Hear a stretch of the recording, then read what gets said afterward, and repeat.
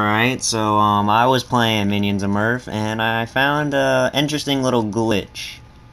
Um, this is Larry. I found this glitch June, oh no, July 3rd.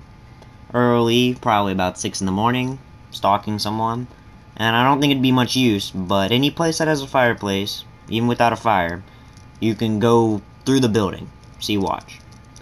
See that? Turn around.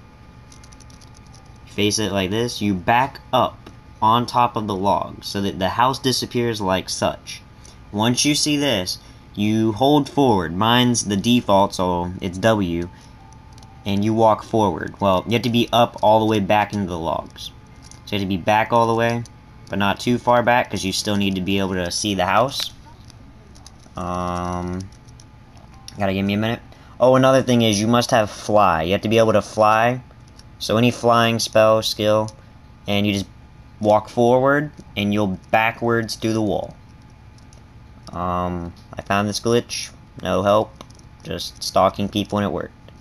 Thank you for watching my video, goodbye.